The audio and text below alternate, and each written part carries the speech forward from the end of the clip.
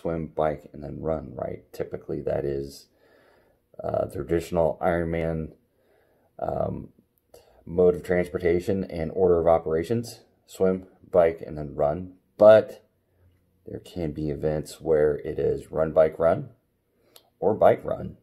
Um, there are several events. Ironman Chattanooga 2018, this one was canceled. It was just a bike run.